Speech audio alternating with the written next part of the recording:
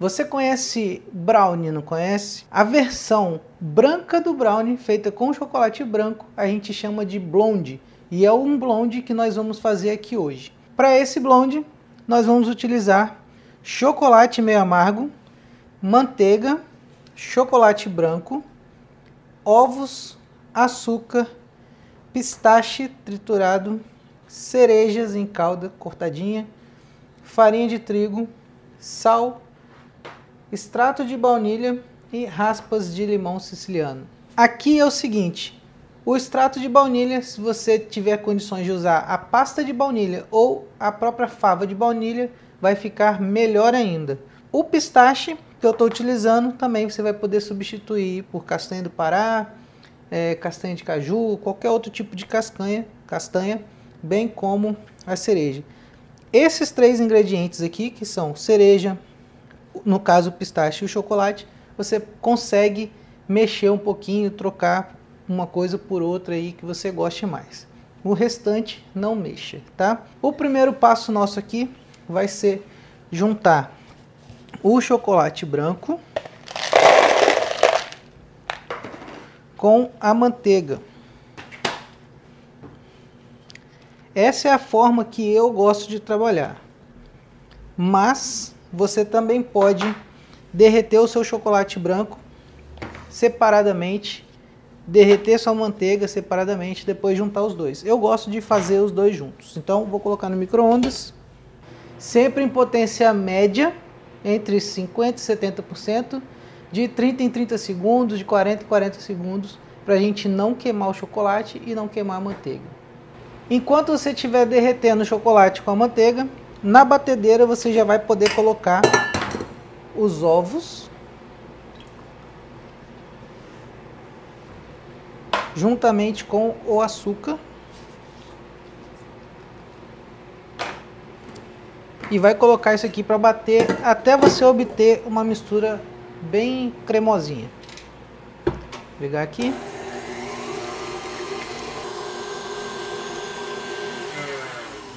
Aqui eu já tenho a minha manteiga com o chocolate derretidos e misturados e os ovos, e os ovos com açúcar também batidos e cremosos. É isso daqui que a gente quer.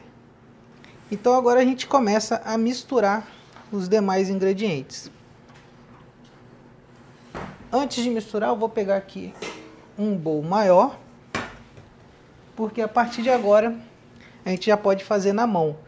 Como o blonde é parente do brownie, a gente não quer que ele cresça demais. Então eu usei a batedeira só para facilitar esse trabalho aqui dos ovos com açúcar.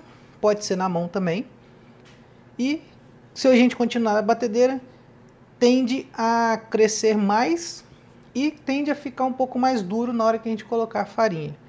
O legal mesmo aqui é fazer na mão a partir de agora e se você puder desde o começo fazer na mão, pode fazer também. Então eu vou despejar aqui os ovos com açúcar. Vou misturar a minha manteiga com chocolate.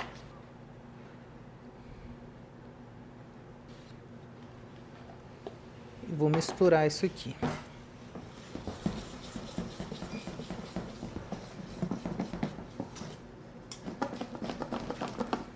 Misturei aqui o chocolate. Agora a gente já pode adicionar o sal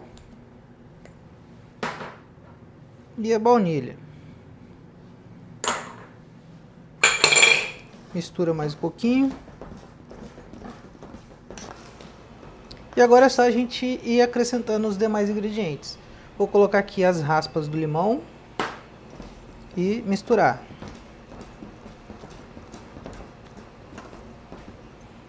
Posso colocar a farinha. E agora a nossa massa vai começar a firmar e engrossar.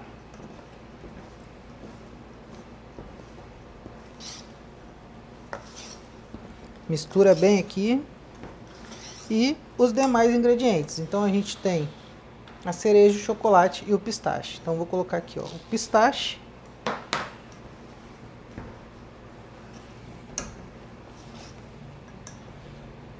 O chocolate. e as cerejas.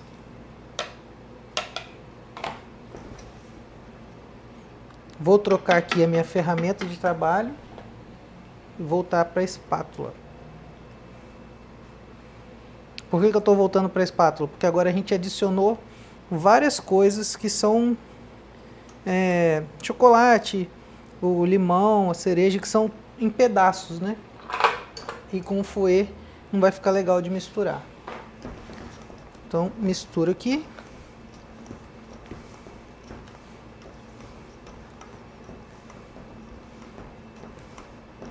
Olha como é que ficou bonita a nossa massa.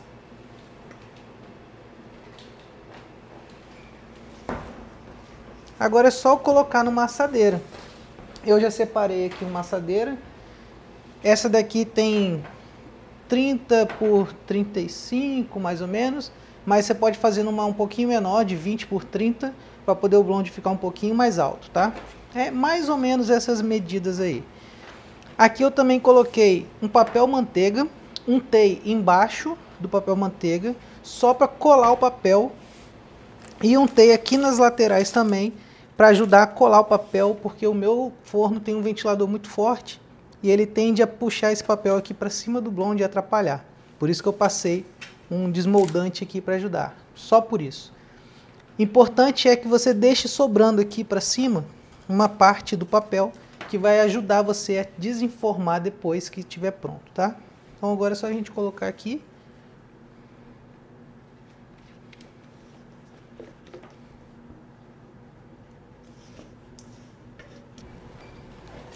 espalho aqui na minha assadeira.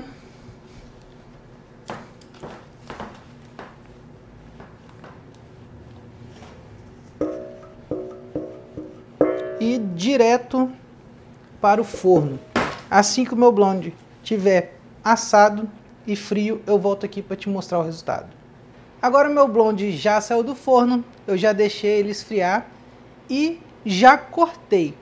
Como que você vai fazer para cortar o seu blonde? Tira do forno, deixa ele esfriar um pouquinho só aí, uns 5 minutos e leva direto para o freezer. Deixa ele lá no freezer uns 10 a 15 minutos para facilitar o seu trabalho para cortar e também para interromper é, a cocção, né? Para ele parar de assar no próprio calor. Quanto mais tempo você deixar, na sua receita tem o tempo de forno, mas quanto mais tempo você deixar, mais sequinho ele vai ficar. Quanto menos tempo você deixar, mais cremoso por dentro ele vai ficar, tá? Aí você consegue regular o, qual é a cremosidade do blonde que você vai querer.